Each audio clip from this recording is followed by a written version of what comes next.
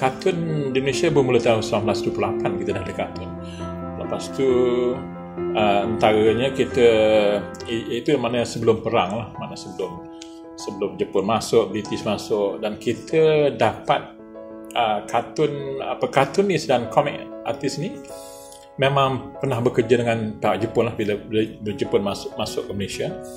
Jadi lepas tu kartunis akan akan bekerja dengan surat agama Jepun tanya malah simpo uh, untuk buat propaganda dan sebagainya. Lepas tu bila British masuk pula dan comic artist dengan dengan apa kartunis pun buat kerja dengan dengan pihak British. Surat khabar, editorial kartun dan sebagainya. Saya bersama dengan uh, uh, kartunis gila-gila yang uh, second batch, third batch. Tahun 79 gila-gila terbit.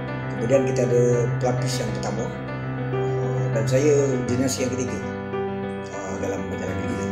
Jadi masa tu zaman yang kita masih lagi semua manual. Dia sebenarnya bermula tahun 1990. Jadi masa tu kita pun muda lagi kan banyak idea. Macam-macam idea dia. Permulaan tu agak masalah juga sebenarnya. Tapi bila kita dapat rentak tu rasanya tak ada masalah lah kita buat untuk seminggu tu dalam satu hari siap seminggu jadi saya pasal kerja saya spend dengan dialog kita raya untuk akhbar dan itu semuanya daily. Semua hari-hari. Generasi sekarang dia tak biasa sebagai contoh dia tak biasa dengan hidup dengan opah atuk apa semua. Dia bangun-bangunnya dia lah dah dah dah ini. Benda ini terjadi bila bila bila ekonomi kita merudum sejak tahun 90 1996 95 je tu. Jadi apa industri komik dan kartun ni dia dia beku memeku sekejap.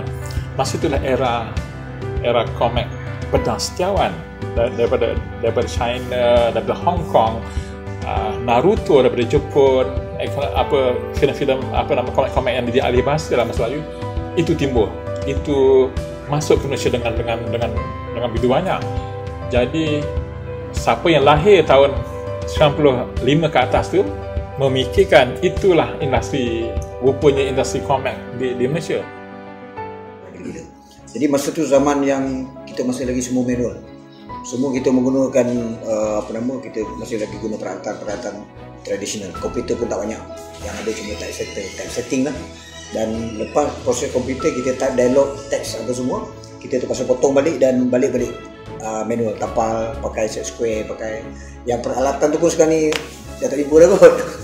eh kita guna mesin bromide. Banyak banyak benda yang yang sangat orang kata old school lah dia kata saya generasi paling bongsu dalam gila-gila. Jadi saya sempat merasa uh, berguru gadat badai uh, dengan abang-abang lain terdiri apa semua dengan abang ujang ni masa tu memang kami banyak pakai manual. Dan pada masa tu komputer boleh kata satu bahan satu barang mewah. Sebab satu biji komputer berharga sampai RM25,000 pada zaman tu. Nilai kartun tentang Malaysia. Jiwa jiwa kita kan? Anak-anak sekarang anak-anak saya banyak fokus kepada Jepun semua semua kan? Jadi kenapa kita tak serahkan kartun untuk generasi kita? Kartun Malaysia jiwa kita. Bila kita nak sayang satu benda benda tu kena ada. Kalau tak ada macam mana kita nak sayang? Sebenarnya bang kartun kartun dan komik ni dia berada di serata tempat di Malaysia ni.